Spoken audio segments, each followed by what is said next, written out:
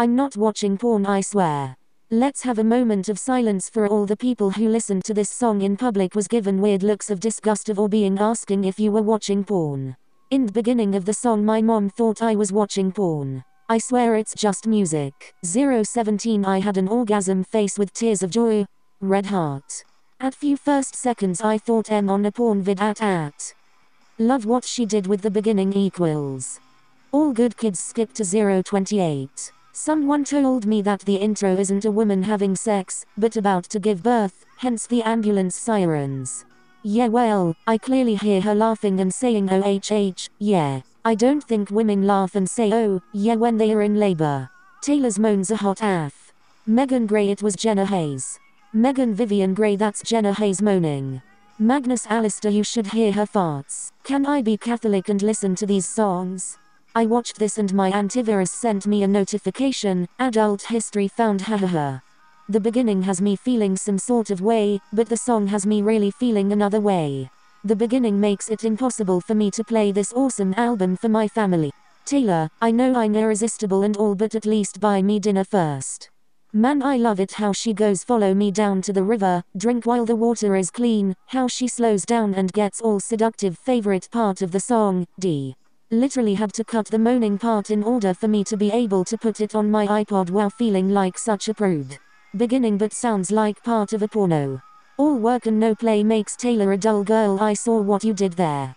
Okay, story time. This morning, as we sat together eating breakfast, my dad had his Bluetooth thingy playing a playlist of music. Eventually, on started off with crickets chirping and a vehicle driving, and my thoughts went to follow me down by the pretty reckless. Quickly, I got up and dashed over to the counter, trying to unplug everything. I swear I could hear Jenna Haze giggling, sure didn't want to get to the moaning. My mom asked what was I doing and all I could say was, I'm trying to turn it off. I can't take it anymore crickets continued chirping, and my heart raced. While my mom told me to stop, I then heard a woman's voice speak.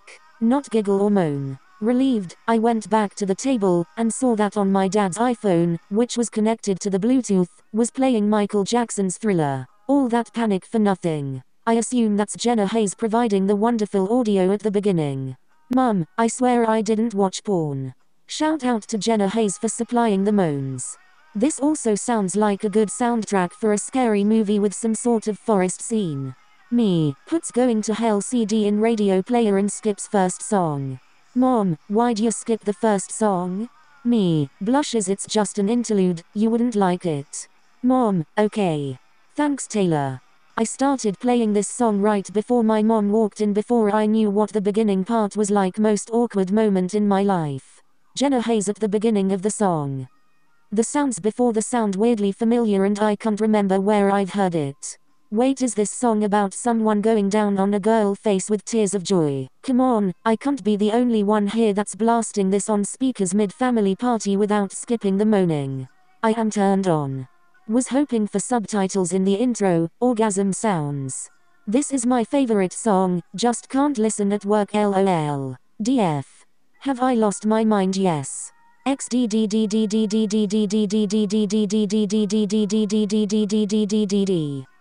Had the volume to 100% and start with groans XD all my neighbors looking out the window faced, WTF. Don't play before 0.27 seconds if surrounded by your family, without earphones Lameo face with tears of joy. Once this song played while my headphones went in and it was quiet but enough to hear and my mom was like WTF why is there moaning and my young idiotic self was like oh that's my phone without telling her it was a part of a song. I'm so glad this song never comes on when I blast my playlist through my bedroom window while sitting on my porch. LOL. After the first 25 seconds, my mom walked in my room and thought I was watching porn.